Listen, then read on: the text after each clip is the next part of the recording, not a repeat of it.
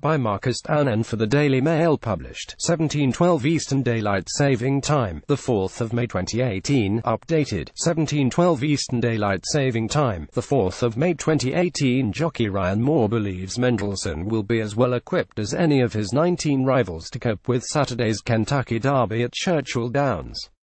The Aidan O'Brien-trained colt will make history if he can land the £1.5 million prize in America's biggest race shortly before midnight in front of a crowd of around 160,000. No European-trained runner has won the Kentucky Derby but Mendelssohn is the 3-to-1 favourite with British bookies and second favourite as Santa Anita Derby winner Justify in America. Mendelssohn will make history if he can land the £1.5 million prize in America's biggest race. Mendelssohn, a son of USA sire Scat Daddy who cost $3 million, £2.2 million as a yearling, has a pedigree made for racing on dirt.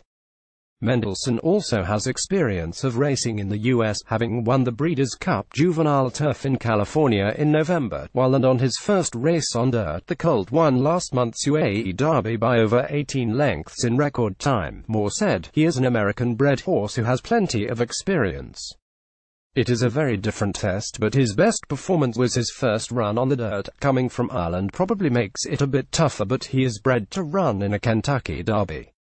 He goes there in good shape and with good form in the book. It absolutely will be different from anything he has experienced, but none of the other horses in the race have run in a 20-runner race before.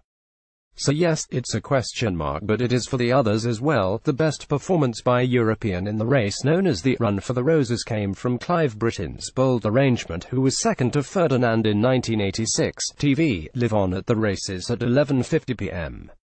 Advertisement